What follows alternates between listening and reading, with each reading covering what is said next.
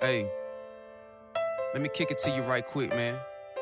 Not on some gangster shit, man, on some real shit. Anybody done been through the same thing, I'm sure you feel the same way. Big Phil.